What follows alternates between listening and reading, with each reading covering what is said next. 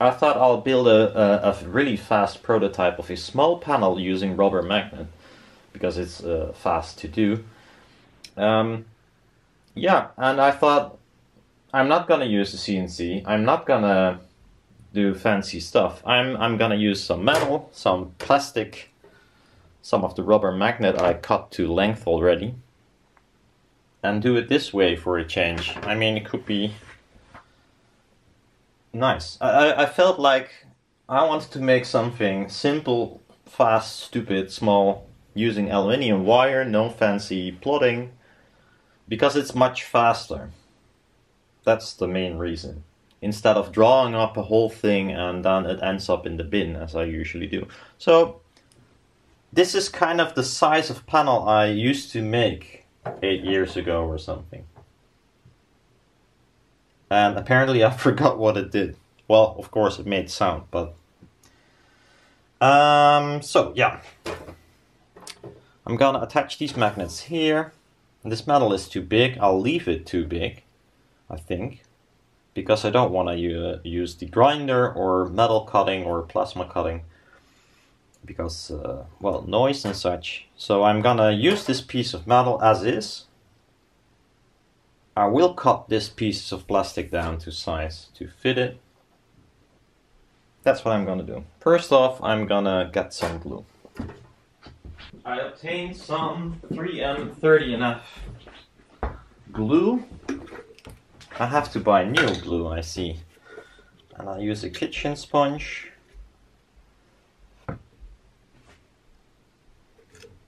To whoop, put some glue on these magnets.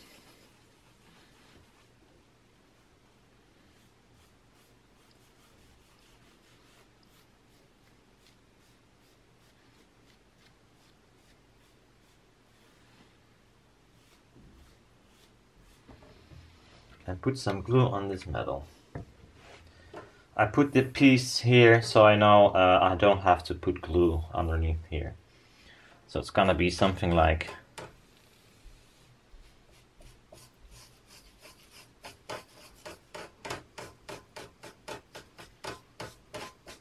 this and So this time I work the other way around. Normally I make a frame first, now I'm gonna glue the magnets on first, then make a frame.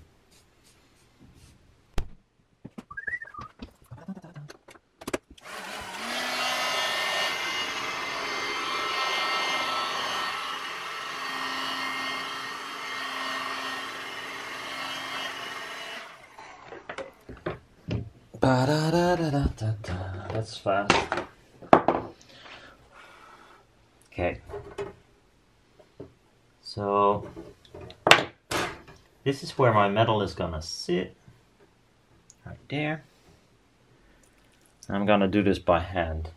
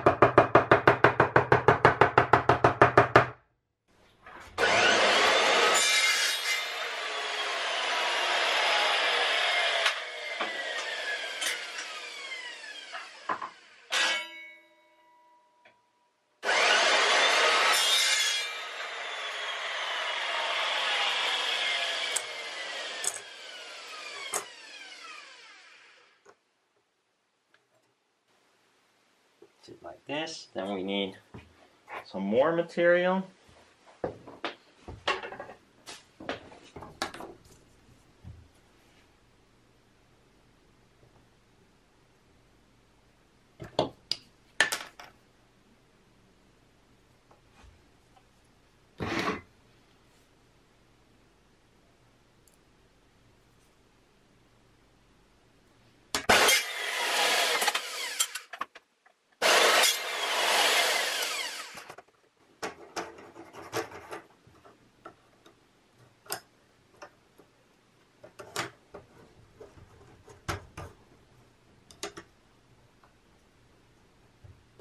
Okay.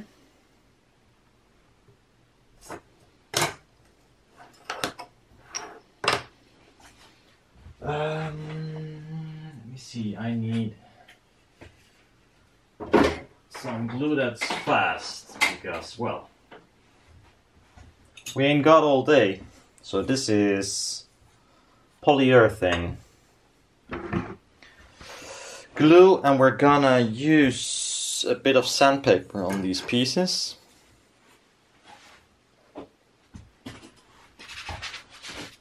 Or a sanding sponge thingy.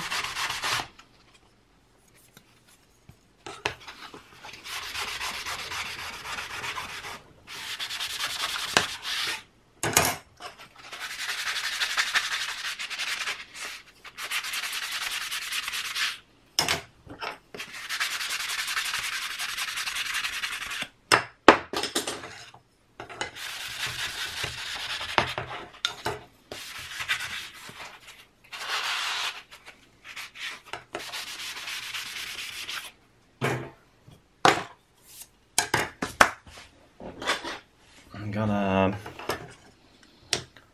hold these under the under the water for a little bit. I wonder if activator works as well. Might be. Might be the case. um, so I'll grab a garbage bag to protect my bench.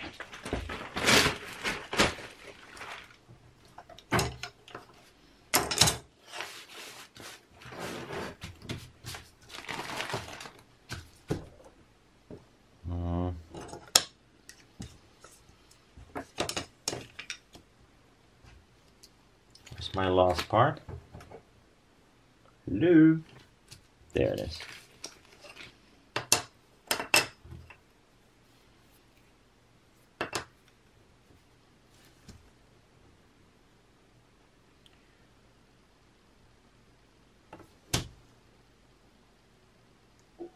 What's the best way?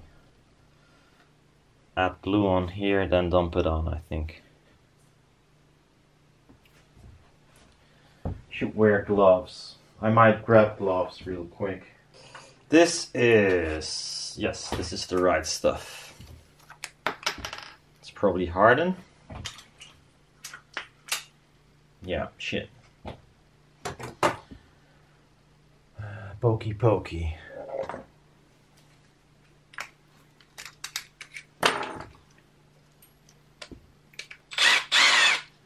Ah! This is why you never use gloves on things that turn.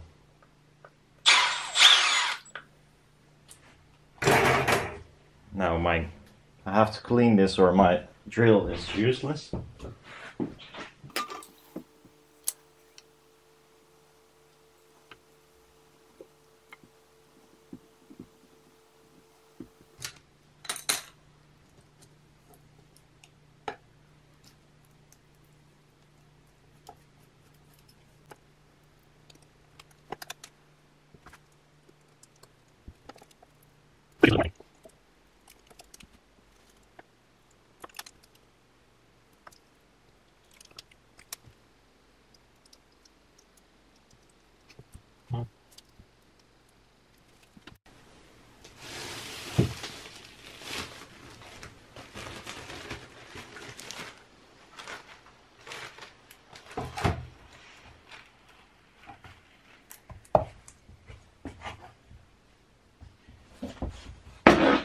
Then we use clampy.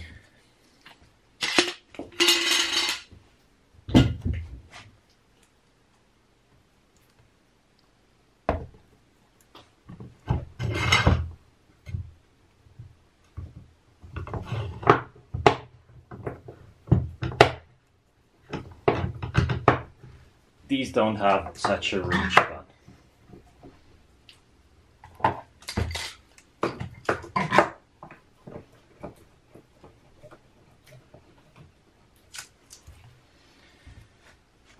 clamp or on the back side. This clamp is huge.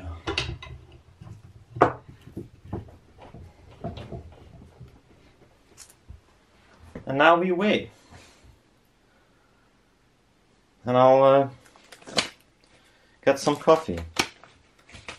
I hope it is moist enough to work. And for how long, that's the question. I'll give it a half an hour or an hour. See ya. So, this one is not yet completely dry. But to save time, I'll stretch up some mylar. Uh, by not cutting off this piece, uh, it's gonna be annoying cutting the panel free, but for now, that's what I'm gonna do. I'll cut that piece of metal off tomorrow because it makes a lot of noise, which, well, it's too late to make a lot of noise.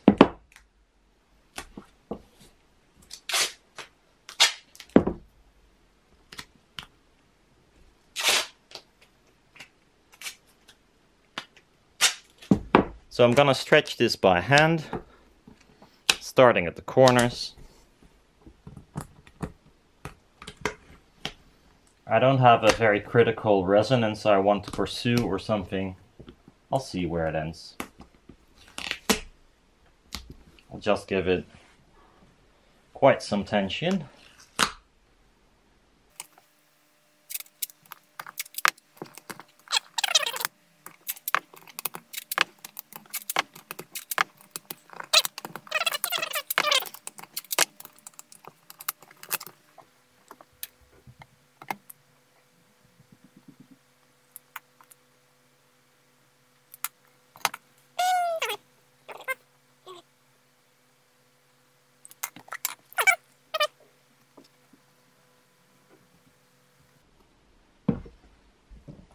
You don't have to be careful. The added weight does not influence it.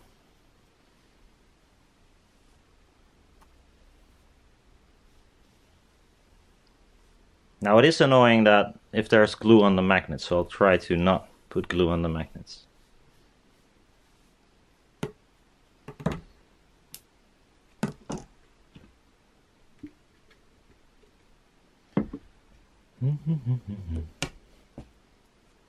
Wait for this to dry.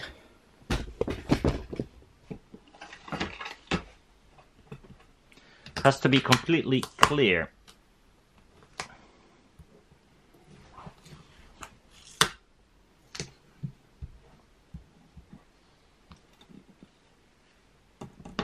So I'll leave it here and uh, come back in half an hour or whatever, how long it takes. Well, that's a bit longer than half an hour. Hopefully it still sticks.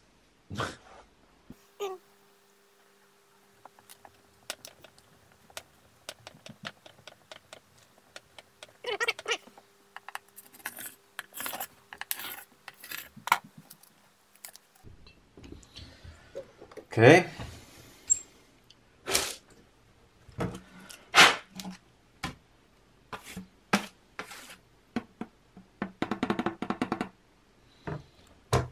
Uh, now I'll use the Magnepan way, or at least this is how I did it before. I'm not sure if they still do it like this.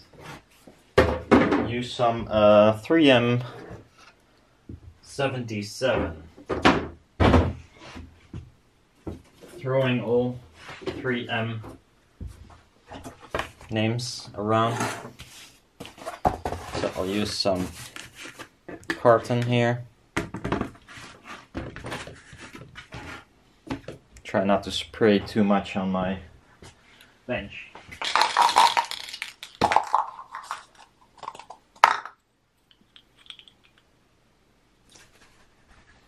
So some Super 77.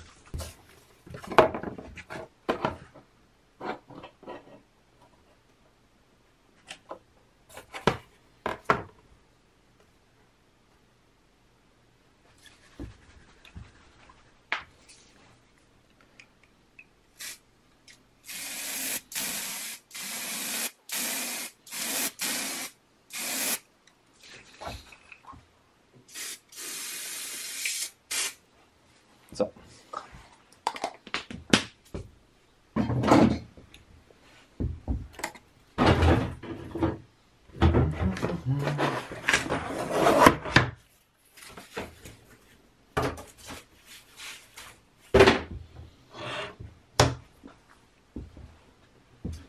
Now I'll get my coil wire, which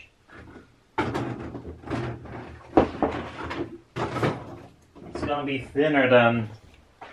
Well, in the end, I I will not use any aluminium wire, but for now I will because it's fast. And since I want a decent impedance, I'll use rather thin wire. it's gonna be 0.172 millimeters thick wire.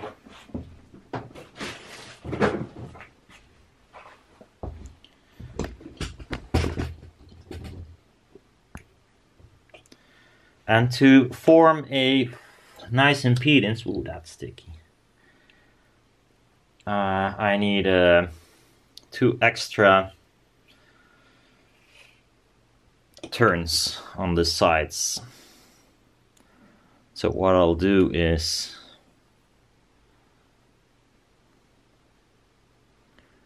start here.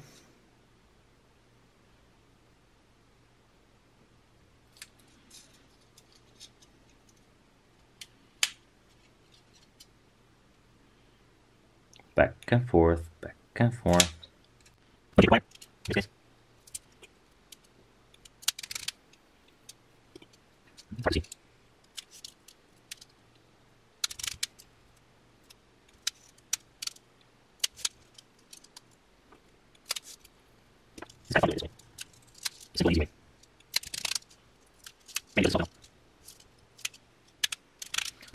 Now we're gonna go back to the start go back like this.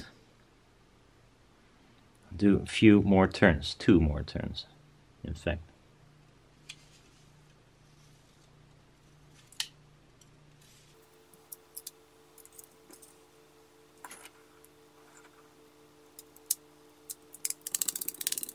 Back on the spacer. We go here this is where it comes down so here we have to go up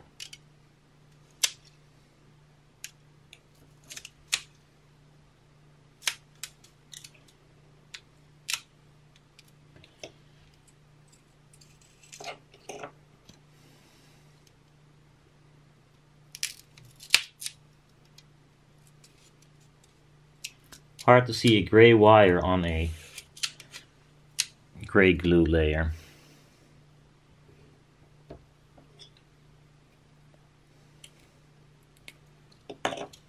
Okay. Now we're gonna add a top coat of of uh, 30NF.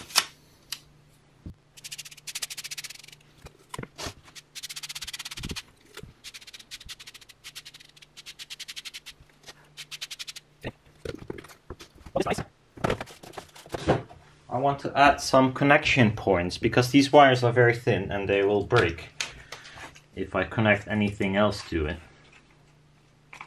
So I'll grab a piece of copper tape, which is easier to solder to. It's not that sticky anymore. And I'll add it here.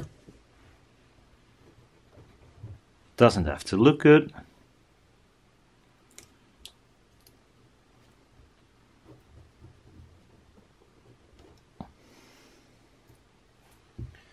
Now I got some new solder. It's aluminium solder.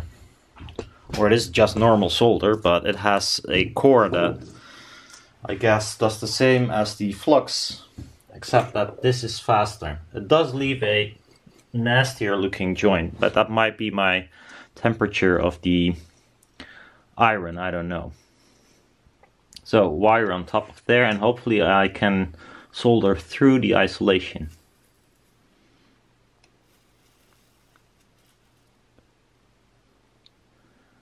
Not too sure about that.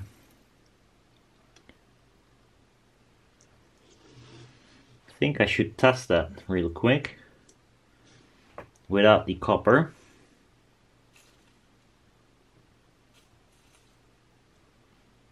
That's the case.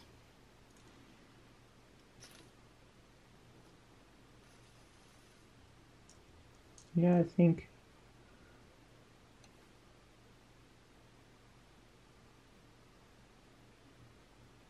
Yeah, I think it worked.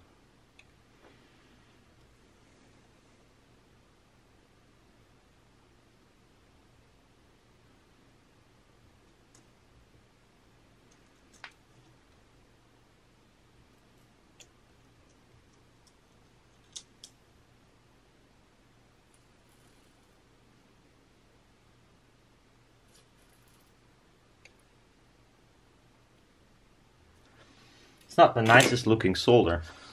Let's measure if we did in fact connect anything.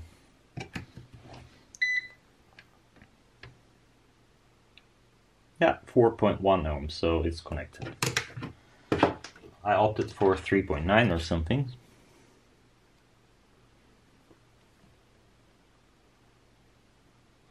I think that's rather close. So this acts like a strain relief. Now I can attach just a random wire. Tin them a bit.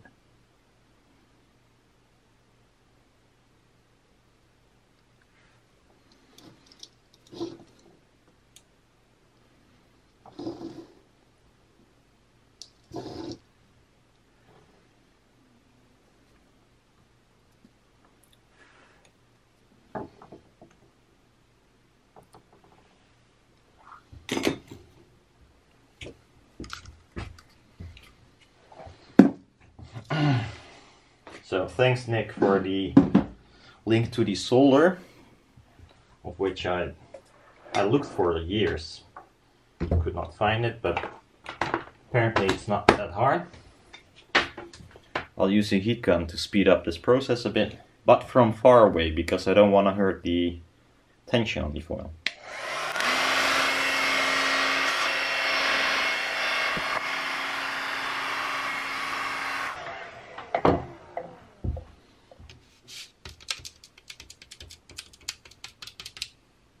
Put a piece of tape over here, I think.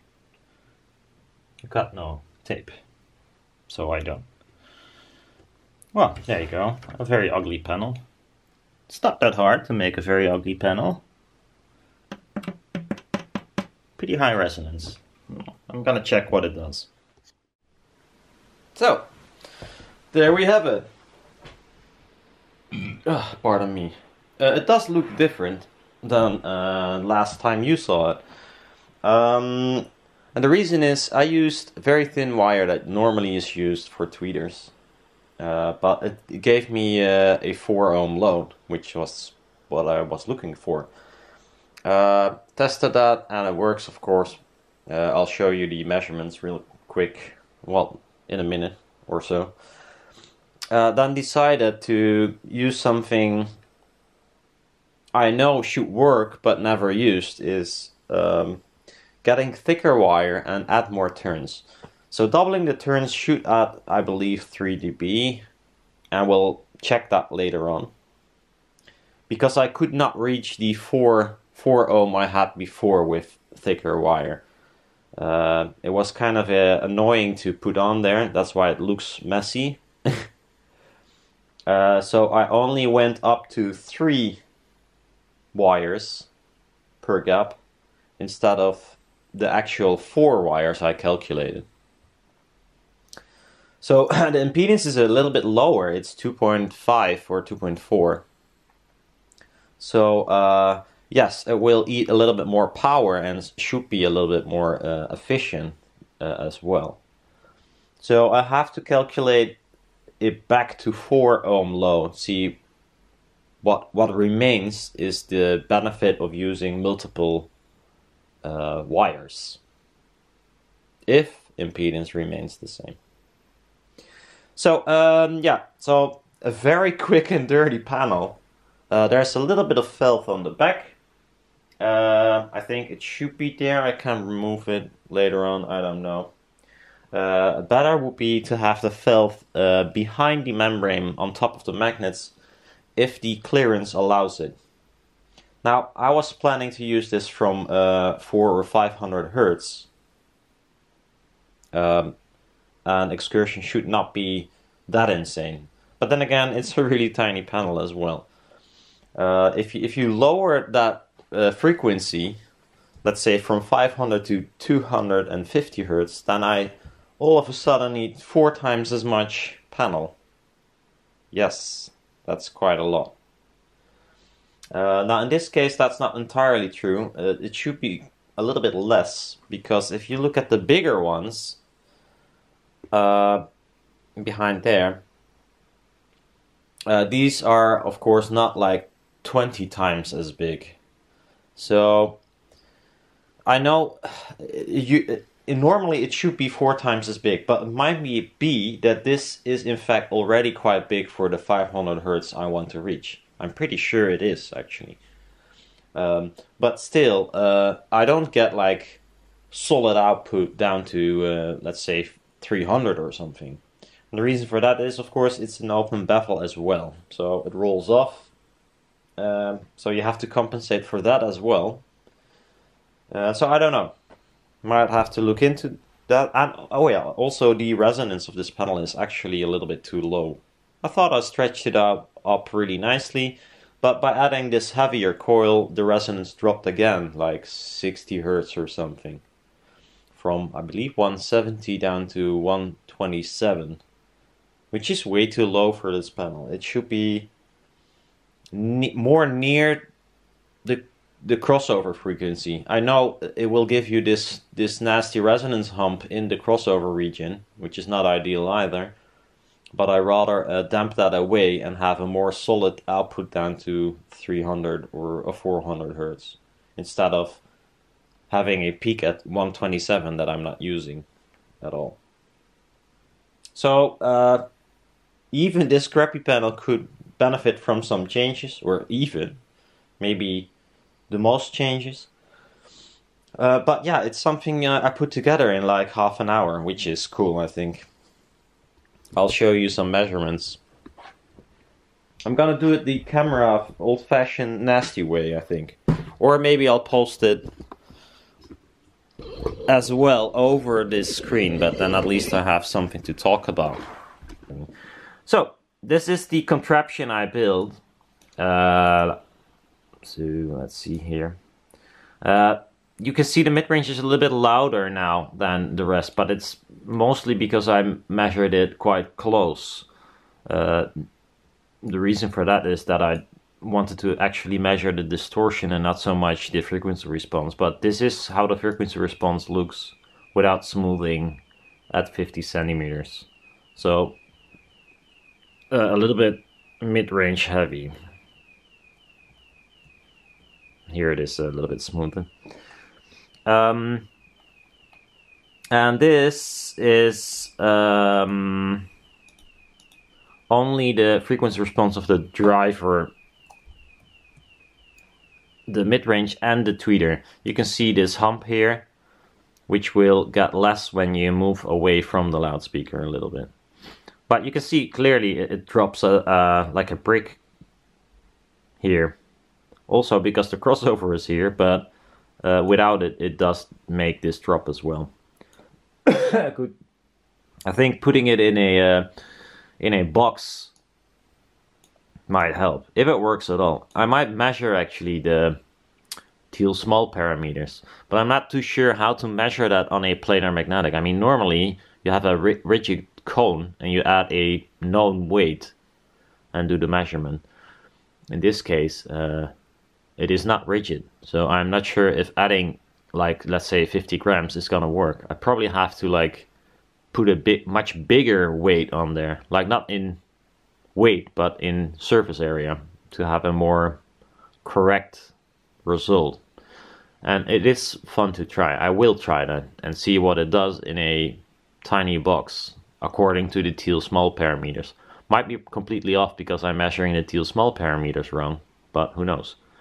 I wonder what happens to this, yeah, this dive. Um, so yeah, um, but here is the measurement of the, the, the panel I made on the video itself.